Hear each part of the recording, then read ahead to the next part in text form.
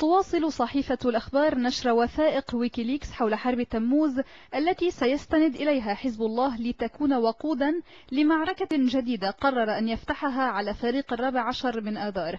جديد هذه الوثائق مواقف منقولة عن رئيس مجلس النواب نبيه بري الذي كتبت الأخبار تقول إنه ورغم السوء السياسي المستحكم في العلاقة بينه وبين الرئيس فؤاد السنيورة تظهر برقيات السفارة الأمريكية في بيروت أن ثمة الكثير مما كان مشتركا في المواقف بينهما خلال حرب تموز آب 2006 فالرجلان اللذان أسسا في الحرب شراكة لم تستمر.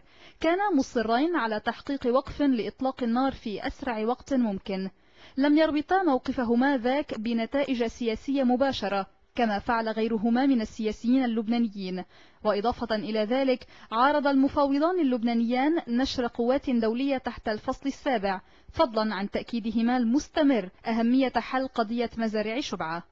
البرقية المؤرخة في التاسع من آب عام 2006 تكشف أن بري أكد للسفير الأمريكي آنذاك جيفري فيلتمان محورية حل قضية مزارع شبعة ويقول في هذا الإطار بري إذا لم تتحرر مزارع شبعة فسأعارض شخصيا نزع سلاح حزب الله لكن إذا تحررت فمن سيكون بحاجة إلى حزب الله؟ يسأل بري فيلتمان.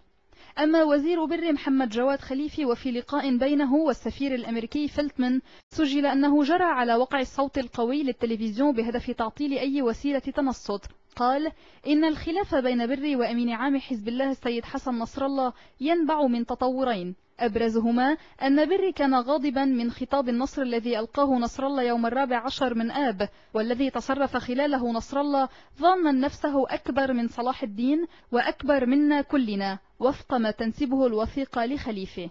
وبحسب الوثيقة فإن خليفة أبلغ السفير الأمريكي أن بري ونصر الله هما على خلاف حاليا وأن بري كان ورغبة منه في كبح جماح حزب الله خدع وزيري الحزب من خلال موافقته على قرار مجلس الوزراء الذي اتخذ في السادس عشر من آب بنشر الجيش اللبناني في الجنوب رغم أن جزءا من القرار تخطى الخطوط الحمراء لنصر الله. وعبر خليفة عن اعتزازه العميق بأنه وضع علم الدولة المركزية خلال جولته في الجنوب ويقول إنه بمؤازرة أفراد من قوى الأمن الداخلي استعاد خليفة المستشفيات والمستوصفات التي كان حزب الله قد بدأ باحتلالها تعويضا منه على تدمير مرافقه وباستثناء المستوصفات الطبية المدمرة التي أصبحت خارج الخدمة قال خليفي إنه أعاد سيطرة الحكومة اللبنانية على المستشفيات والمستوصفات في الجنوب.